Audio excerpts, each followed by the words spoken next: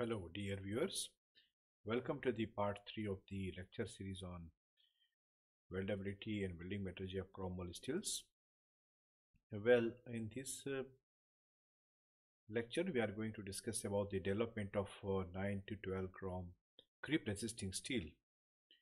You know this there are grades like 9 chrome 1 moly and 12 chrome moly vanadium and they have been subsequently modified to 9 chrome 1 moly steel that is P91 and the tungsten alloy 9 chrome steel E911 and P92 and they have been used in full scale in new power plants in Japan and Europe because their steam conditions up to 30 megapascal at 600 degrees Celsius.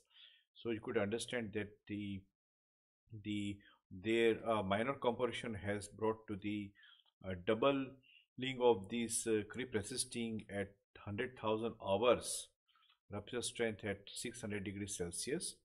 So this uh, 9 to 12 percentage chromium ferritic creep resisting steels are uh, become an attractive candidate material for use in steel power plant applications in thick section boiler components, stiff lines, steam lines, turbine rotors and turbine casings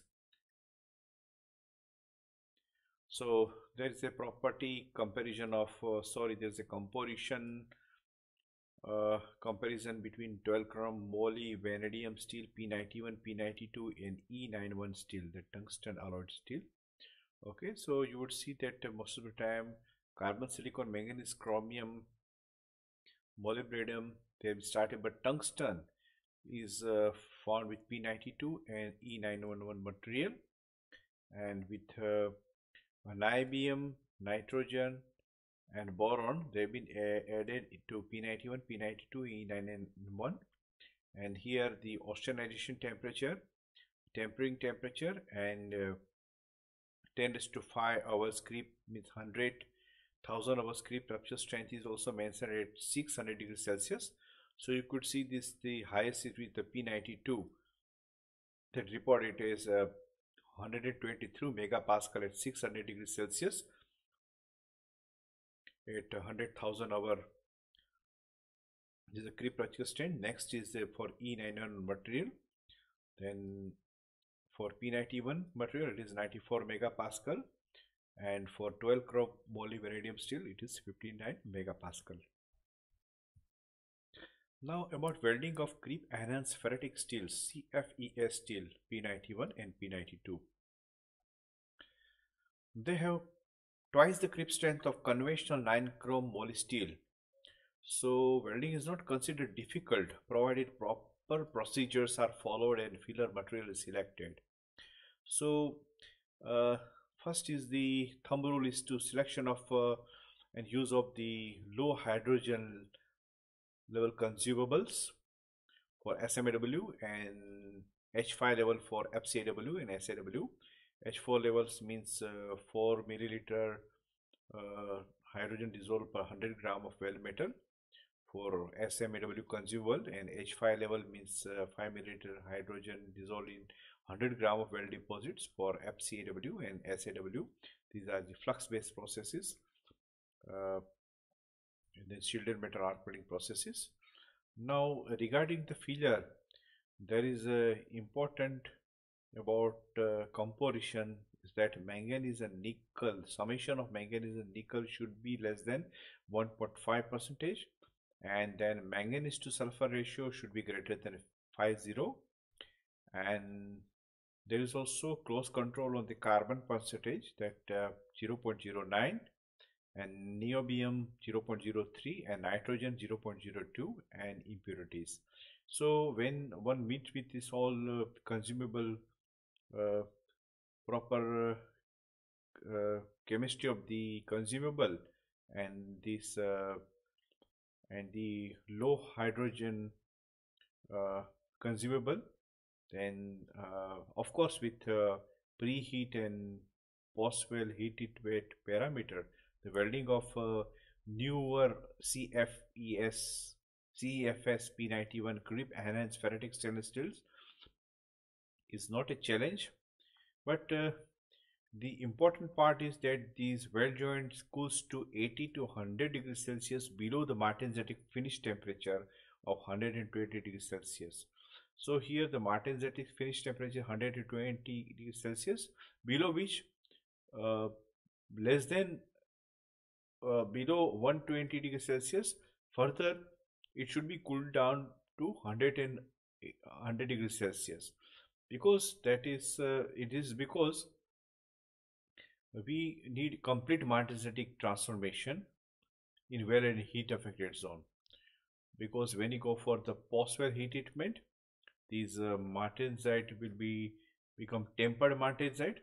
So in order to uh, have the fully tempered martensitic structure it is necessary that the first 100% martensite should be developed and that can be ensured that this uh, uh, weld joint should cool to 100 to uh, 80 to 100 degrees Celsius below the martensitic finish temperature.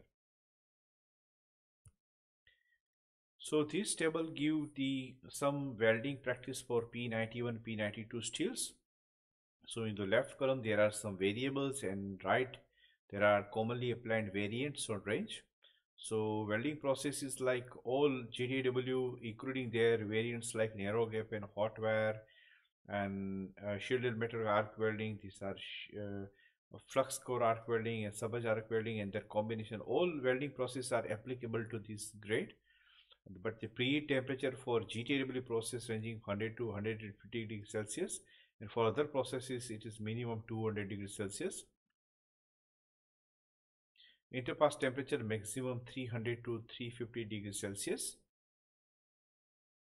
Post heating is recommended 200 degrees Celsius for 4 hours. It is not required for thick section less than 50 mm.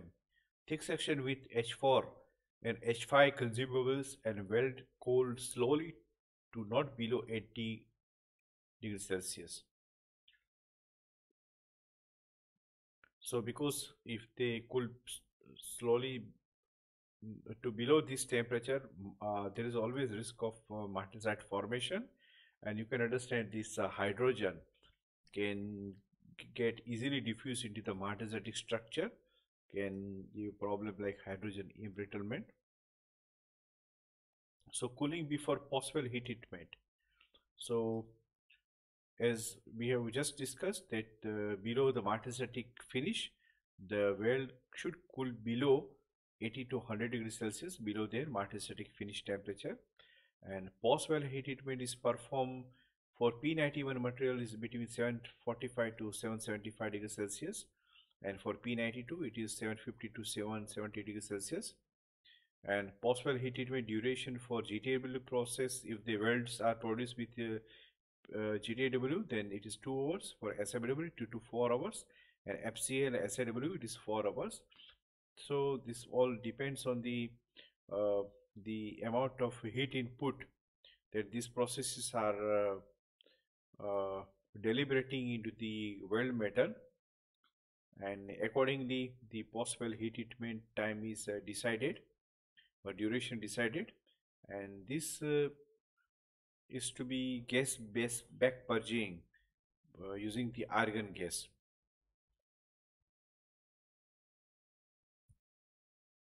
So here is a very important guideline regarding the uh, selection of the post-weld heat treatment, correct post-weld heat treatment.